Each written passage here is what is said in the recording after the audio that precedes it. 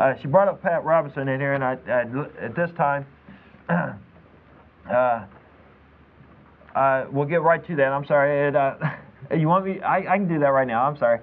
Uh, we had a caller from a high school who was being harassed because she was an atheist. Please call back or come to the bakery to talk to us.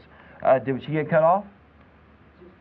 Oh, she hung up. I, I, I see. That's a perfect example uh, where people are afraid to admit they're atheists because of the persecution from the Christians. The Christians are not being persecuted in the United States.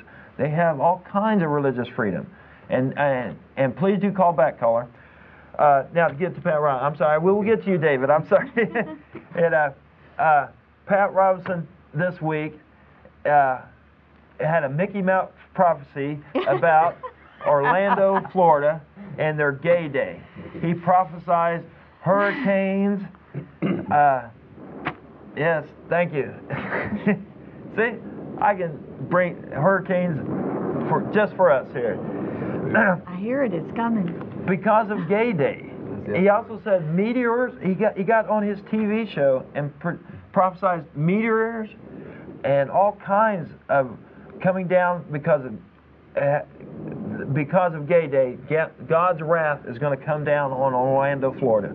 Well, Pat Robertson, we will be watching this, and we will and we will gladly uh, mention it on our show if a meteor hits Orlando, Florida. So we'll be watching from now on for that meteor. And hur- if hurricanes come, that's a whole different story because we got El Nino. We It's a natural that. phenomenon. Hurricanes will happen. You know, I'm not going to deny there's not going to be a hurricane in Florida. Now, if it wipes out Orlando, that's just a luck of the Just Orlando, huh? Just Orlando. Yeah, if it comes down and just, it'll be real interesting. Okay.